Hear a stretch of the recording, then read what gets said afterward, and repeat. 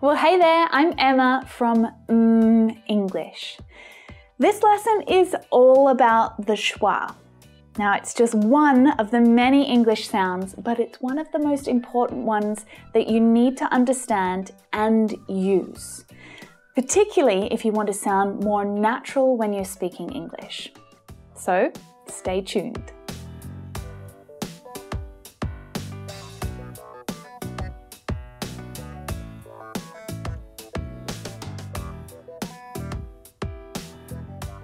There are 44 sounds in English. Some say 45.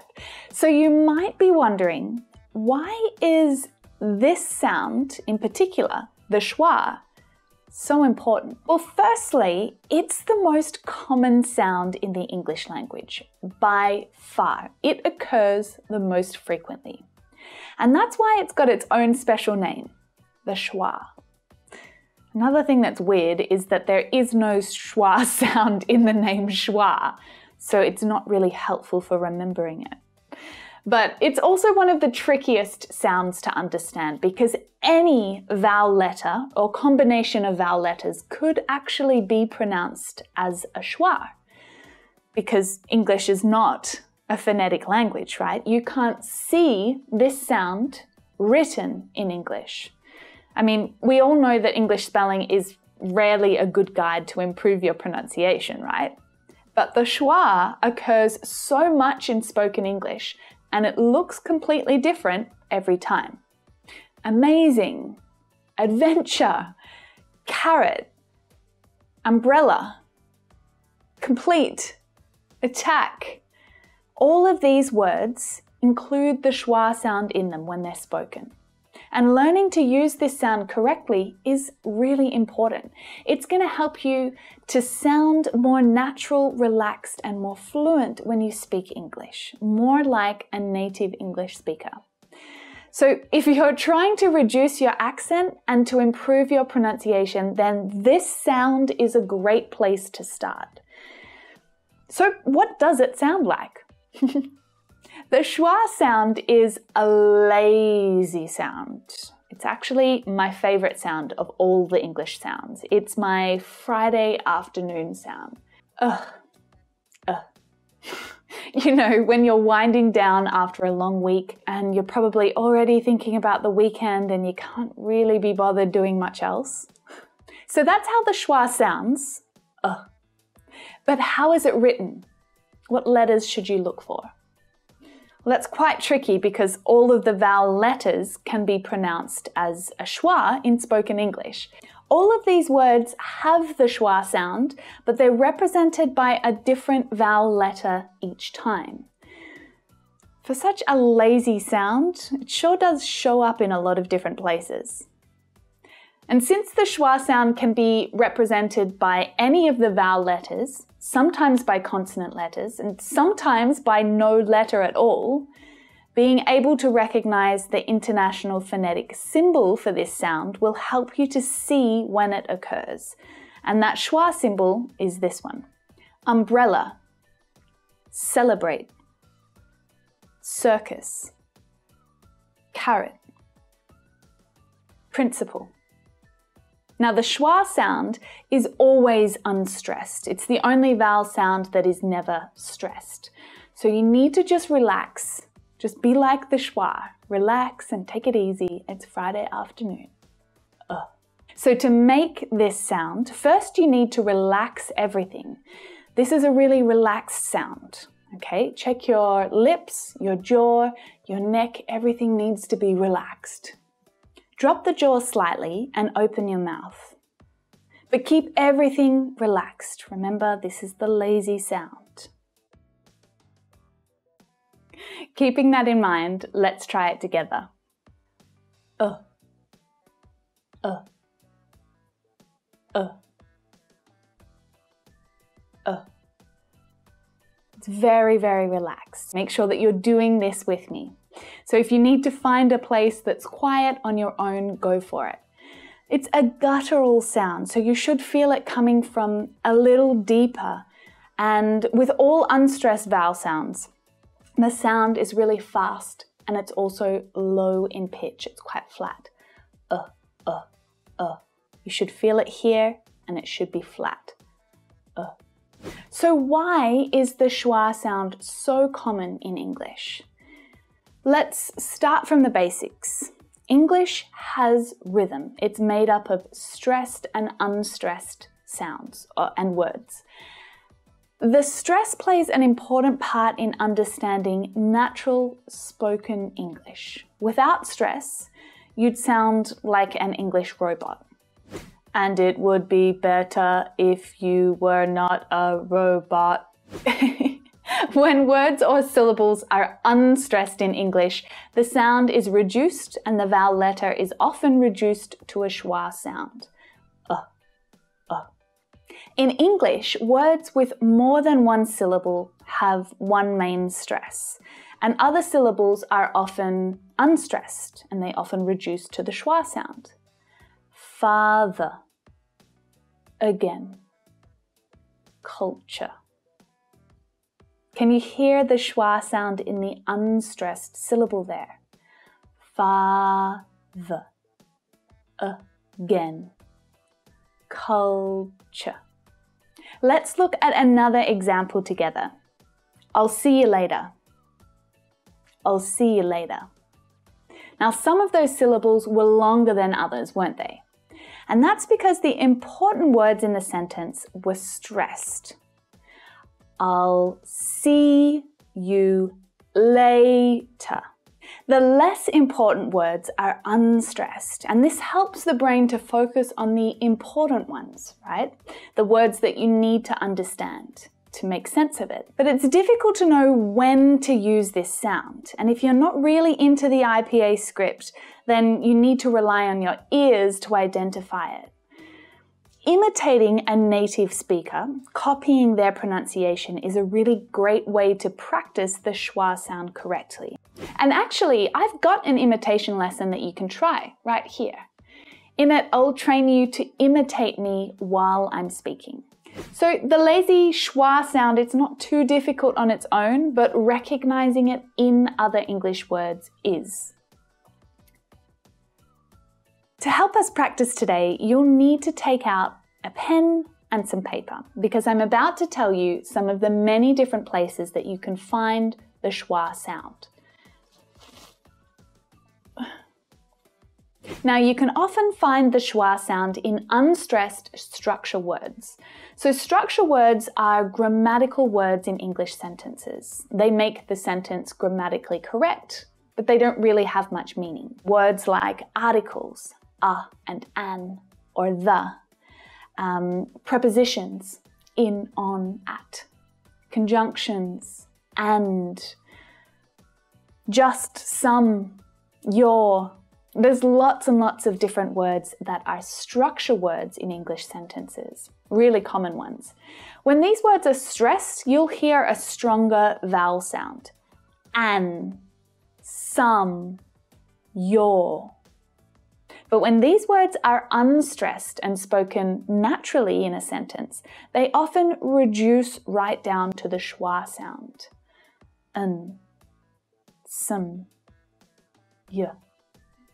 An apple a day keeps the doctor away. Now, there are tons of schwas hiding in those unstressed structure words.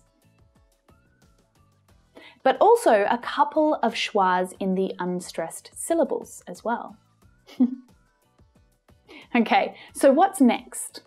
Well, look at this list of words America, another, again, apply, about, ability, allow, adventure, ago, accept. What do all of these words have in common? Can you tell? Apart from the fact that they all start with the letter A, what else? The first syllable is unstressed. Now, these words all start with the schwa sound. This test is a little harder. What about this group of words? What do they have in common? Make sure you're listening carefully. Woman, student, vegetable, supply, syringe, elephant, initiative, information. Now, the schwa sound is somewhere in the middle of all of these words. How about people and rhythm? Now, there's no letter in there that shows there should be a vowel sound, but we can hear it. People, rhythm. So, if the schwa sound comes at the start of a word, the middle of a word, well, there must be some words that end in a schwa, right? Like extra, visa, for example. But also whether, never, after, culture, adventure, higher, liar, color. Hmm, this is where it gets interesting. Firstly, look at all of the different endings here. They all make the same schwa sound at the end of the word. But the second reason why this is interesting is because this right here is where American accents differ from most Australian and British accents quite significantly.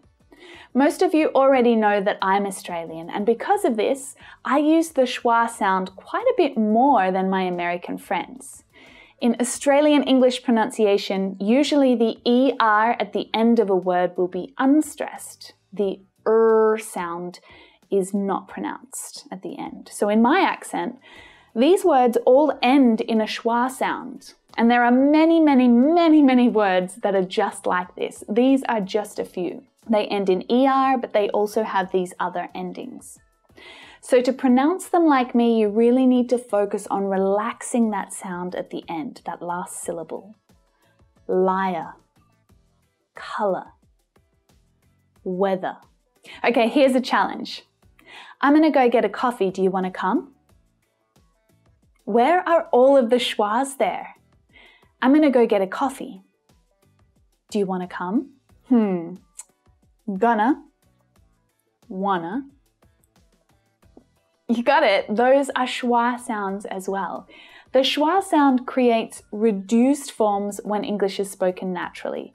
So going to becomes gonna. Want to becomes wanna. Got to becomes gotta. Should have becomes shoulda. So there are so many more examples for this. In fact, I'm going to save them for another lesson because I could go on forever. But yes, the schwa sound is everywhere in English. It's the sound that you need to know, that you need to get comfortable with using. So at the very least, you should be able to recognize this symbol so that you can use unstressed syllables and it will help you to pronounce words correctly when you see them in the dictionary. Like these ones, umbrella, celebrate, circus, carrot, principle, they all have the schwa sound in there and you can see it.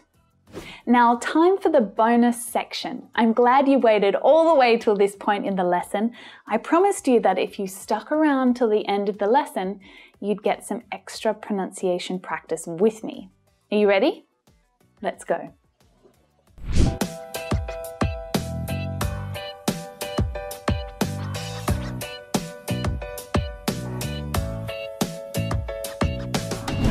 Oh, hi, Emma.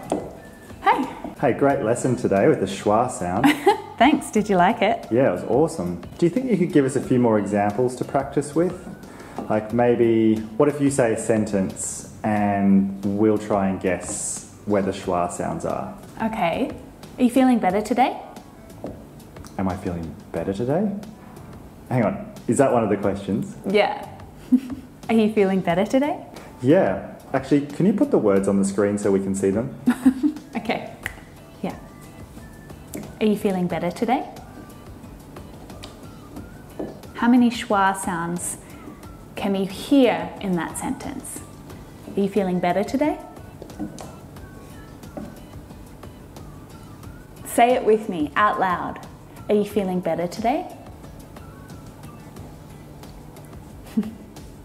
There's quite a few. Okay, Got it. ready for another one? Yeah. Do you want a piece of banana cake? Yes. Good, because that's what I'm making. Do you want a piece of banana cake? How many schwa sounds are there?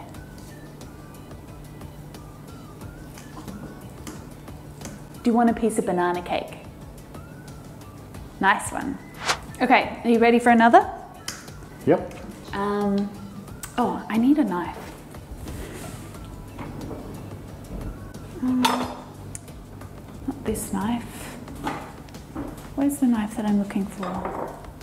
Ah, it's under the toaster. Now, can't remember how much butter I need. Can't remember. Ah, I can't remember how much butter I need. I can't remember how much butter I need. Where are the schwas? I can't remember how much butter I need. Say it with me. I can't remember how much butter I need. Uh, all right, one more. Um, okay, I've got a tricky one for you. Um, can you pass me some more water for the cake mixture? Can you pass me some more water for the cake mixture? Thanks. There's quite a few schwas there. Can you pass me some more water for the cake mixture?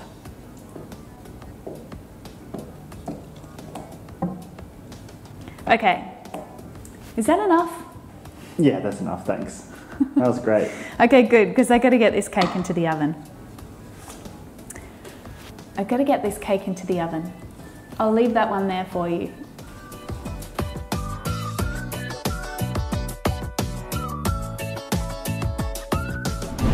If you enjoyed that bonus practice session, then let me know. I'm trying something new here at mm English and I'd love to hear your feedback. Let me know in the comments or hit the subscribe button right there. If you want to keep practicing with me, then check out these two lessons right here. I'll see you in the next one.